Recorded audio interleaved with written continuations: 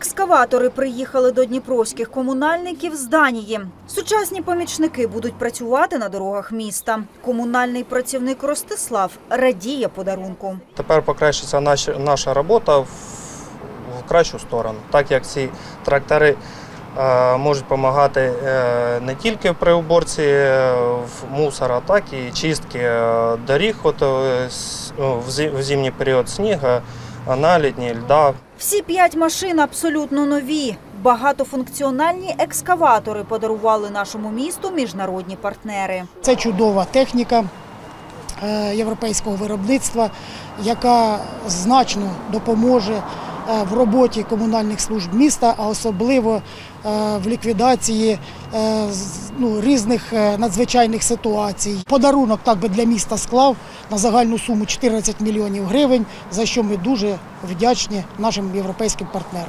Спочатку будуть оформлювати необхідні документи на техніку, і вже за місяць їх можна буде побачити на вулицях Дніпра за роботою.